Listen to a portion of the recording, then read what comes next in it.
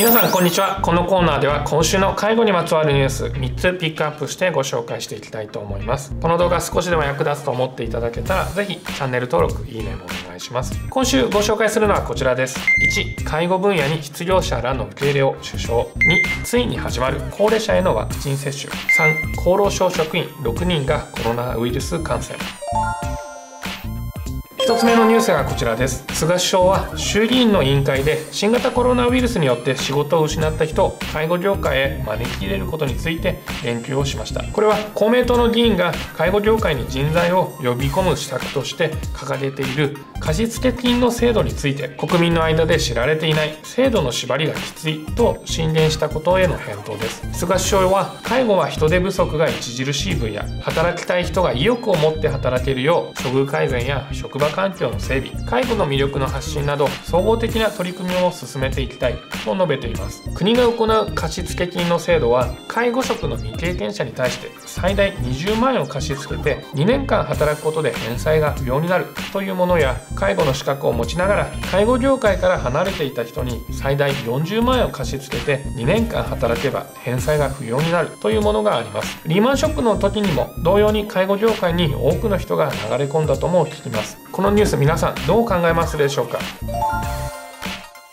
2つ目のニュースはこちらです。ついに高齢者への新型コロナウイルスに対するワクチンの接種が開始をされました。世界中で猛威を振るっている新型コロナウイルスの感染症。医療従事者への接種が進み日本ではついに次の優先順位である高齢者への方への接種が開始をされました。これまでは医療従事者が優先的とされており今も医療従事者へのワクチン接種は進められていますがこの4月12日から高齢者への接種も開始となりました。現在国内においてもアナフィラキシーショックと見られる症状は見られていますがワクチン接種と結びつく死者の方は出ていません。介護職員の一部も今後今回の優先接種の対象となります。高齢者施設の方から接種が始まっている自治体もあります。皆さんの周囲ではどんな状況になっていますでしょうか？